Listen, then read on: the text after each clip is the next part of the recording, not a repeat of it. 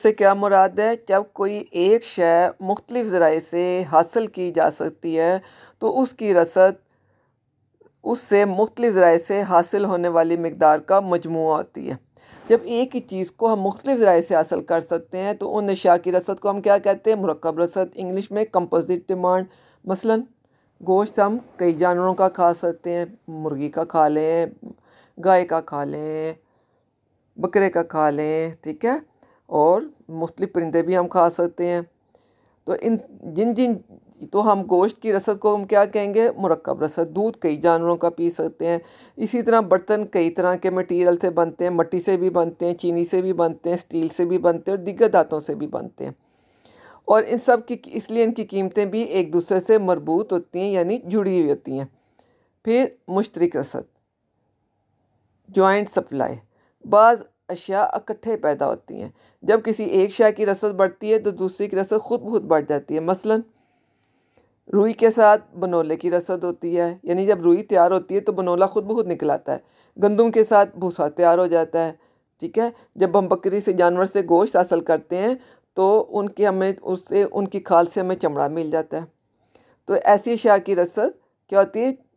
जो अशिया इकट्ठे पैदा होती हैं, उनकी रसद को हम मुश्तरक रसद कहते हैं। जब एक अशिया मुख्तलिफ़ ज़रियों से हासिल की जा सकती है, उनको मरकब रसद कहते हैं, फिर होती है मतकबल रसद। कम्पिटिटिव सप्लाई कम्पिटिटिव सप्लाई बेटी, क्या होती है कि बाज़ अशिया ऐसी भी होती हैं, जिनकी रसद आपस में मुकाबला करती है। यानी अगर एक इस्तेमाल में शय की रसद में इजाफे की वजह से दूसरे इस्तेमाल की रसद में खुद बहुत कमी आ जाए, जब किसी जब एक चीज़ बहुत से इस्तेमाल में आ रही है तो जिसमें इस्तेमाल हम ज़्यादा करेंगे, दूसरों के लिए वो थोड़ी पड़ जाएगी, ठीक है ना? या खुद खुद उसकी कीमत पहले से ऐसी चीज़ों की, ऐसी चीज़ें जो बैक वक्त मुख्तलिफ़ इस्तेमाल में आती हैं, उनकी रसद को मतकबल रसद कहते हैं। जैसे बिजली को हम कई मकासद के लिए इस्तेमाल कर सकते हैं, गैस कई मकासद के लिए इस्तेमाल कर सकते हैं ठीक है? और इसी तरह लकड़ी जो है, हम कई मकासद के लिए इस्तेमाल कर सकते हैं। घर बना लें, फर्नीचर बना लें, बेड बना लें, लकड़ी, बर्तन बना लें, ठीक है? या उसको इकट्ठे ही जलाने के लिए भी इस्तेमाल कर लें। इसके बाद जो हमारा अगला टॉपिक जो है, वो है रसद की लचक। इलास्टिसिटी ऑफ़ सप्लाई तलब की तरह रसद की लचक का तस्वर भी मुआशात में बहुत अहम नोयत का होता है, बहुत अहमियत रखता है। इससे क्या मुराद है इसकी डेफिनेशन क्या है?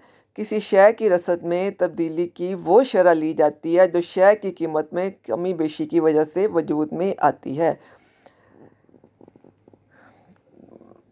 रसद की लचक से क्या मुराद है? किसी शय की रसद में तब्दीली की वो शरह, जो कीमत में तब्दीली की वजह से आती है। रसद की लचक की पैमाइश हम तीन तरीक़ों की मदद से कर सकते हैं। अकाई का तरीका अकाई के बराबर अकाई से ज़्यादा। अकाई के बराबर अकाई से ज़्यादा अकाई से कम। इसको हम यूनिटी मेथड भी कहते हैं। तो ये मैं आपको इस आ, एक तो ये हो गया रसद की लचक की पैमाइश। फिर इसमें मैं ये आपको बेटे अगले लेक्चर में आपको डिटेल में अभी फ़िलहाल आप इसको रीडिंग देना अच्छी तरह फिर अगले लेक्चर में हम इन ताला इसको अच्छी तरह करेंगे ताकि एक दफ़ा आपने रीडिंग दी हो और आपकी बेस बन गई हो। तो इनको अच्छी तरह करो। तो कल हम इन ताला रसद की लचक को डिटेल में पढ़ेंगे। अल्लाह हाफिज़।